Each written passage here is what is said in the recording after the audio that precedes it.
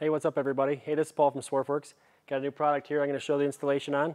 This is our bracket to mount the ARB Twin air compressor on the new F-150s and Raptors, uh, 21 and newer. Mounts right down on the frame rail using some, some hardware here that goes right in the factory uh, holes on the frame. Hides down underneath the air box for a super clean install. So let me show you how quick and easy this is. All right, so let me go over a few of the different uh, pieces of this kit. Um, obviously, you have to buy your compressor. I got the bracket over here.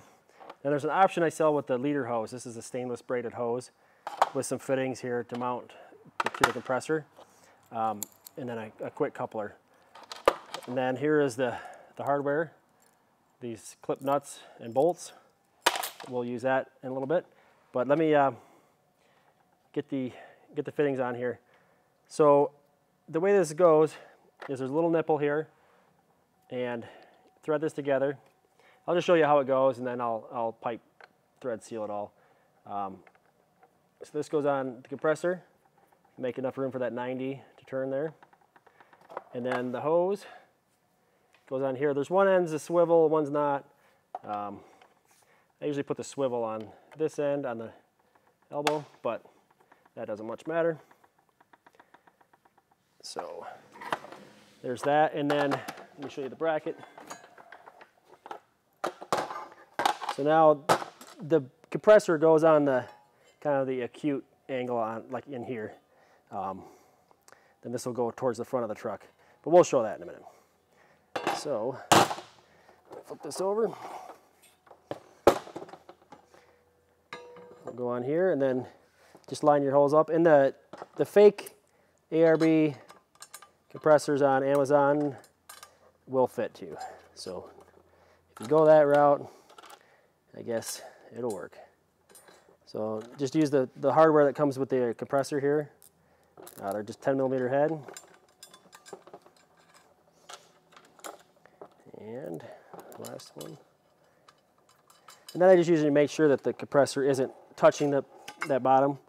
Um, I just usually space it off a little bit so it doesn't vibrate. Uh, just tighten those up.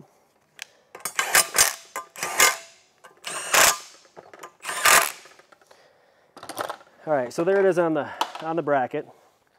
So this will set in like this on the frame, so the truck's forward. Now this part of the hose comes over, we'll put it through this. So again, these, these parts are optional. I mean, if you wanted to create your own way to do it, uh, you could do that. So this bulkhead fitting goes through the plate. Once again, don't forget your Teflon tape and all that stuff, but I'm just showing it real quick here. So throw that down on there. And this fitting, see, I guess I should have put that, oh, I can spin this. So this goes on there. And then your uh, quick coupler goes on the other side of that bulkhead, fitting like that. So this will point out towards your, your driver's side tire. So that's how it pre-assembles. And then uh, I'll show you, I'll go through and seal all these up and then uh, show you how to drop it in. All right, so now we got the uh, air compressor all prepped. Let's uh, get some stuff out of the way. Just need to remove the air box. Um, this is pretty easy to do. There's just a hose clamp here. Let me uh, get that out of there. So seven millimeter or a flat straight screwdriver. Loosens that up. Two clamps. Good time to check your filter. Pull it off. And we'll set that aside.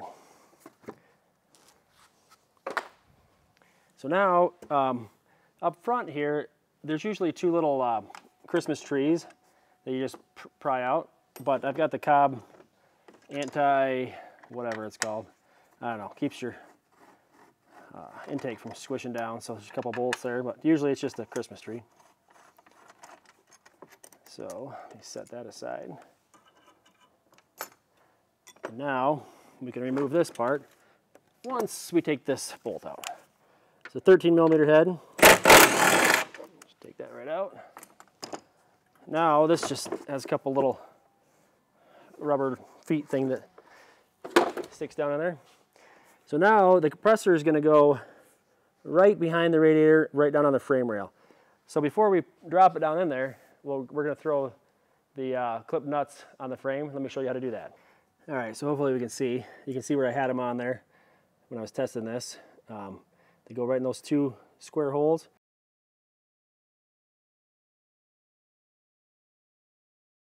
Kind of the upper ones uh, by the suspension here. Let me see if I can get a good recording of this.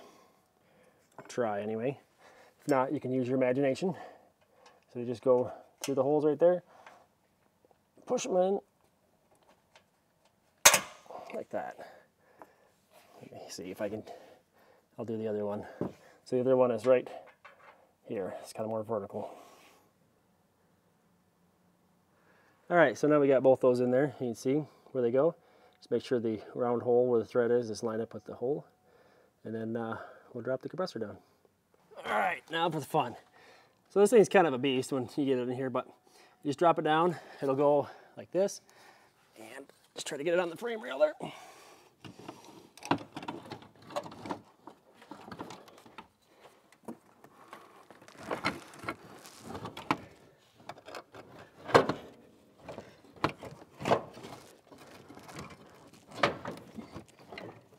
Right, now it's sitting in position. We just need to uh, put those two bolts, 13 millimeter heads, through the clip nuts we put, just put in there. So let me do that.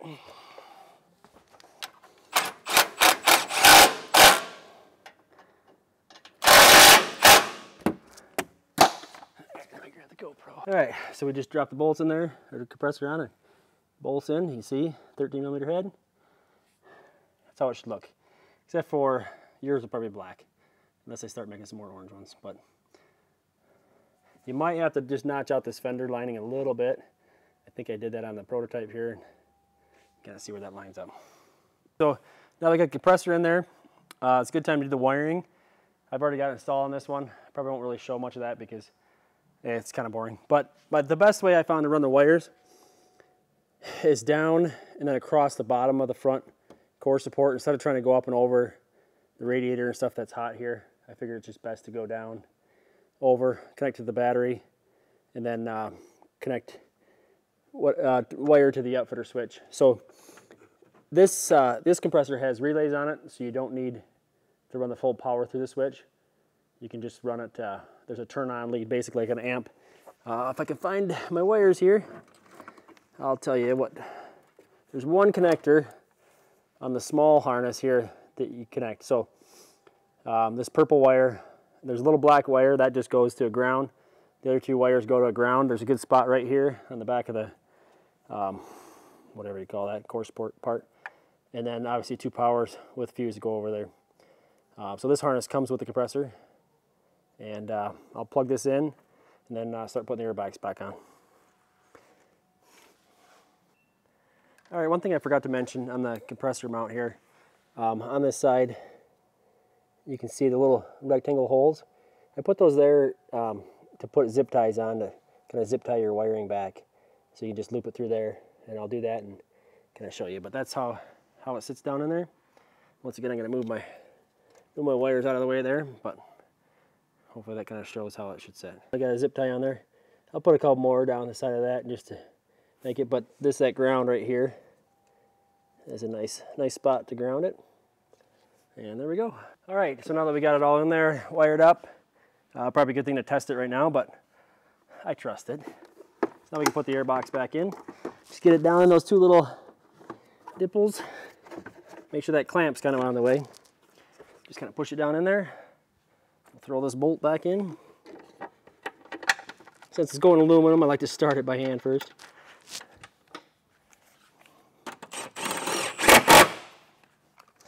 So that's 13 millimeter again. Uh, I try to do that to make those clip nut bolts the same size so they you weren't looking for too many tools. Let me put this bracket back on. A lot easier if you just drop the Christmas trees back in there, but this thing does serve a purpose.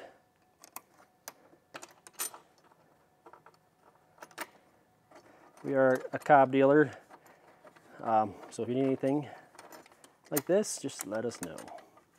I guess, look at the website. Come on. All right, now for the air filter. Sorry my truck's so dirty. I uh, guess I use it for what it's meant for.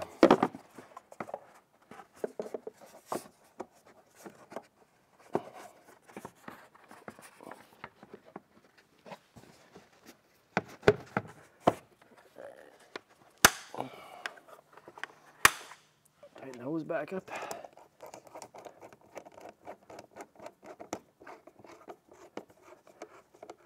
And there we go. So, I mean, really, probably prepping the compressor with the hoses and stuff like that takes about as long as actually putting it in. Um, so it's super easy, super stealth. You can't even tell it's there unless you look under. You can see that airline. So if you want to pick one of these up, swarfworks.com. And thanks for watching. All right, while we're talking tires and air, I guess we're talking air, not tires. Uh, I upgraded these valve stems to these Apex quick deflate ones. Uh, these are made right here in Utah, and these are sweet. So they still use a TPMS sensor on there. Um, has this cap on it that holds the, the deflator uh, closed. But then you just, to deflate it, you just pull that red tab and uh, watch how fast this will go down. I'm a little low right now, I'm probably 28 pounds, but uh, I'll deflate it to air it back up. So you just take the red tab, pull it,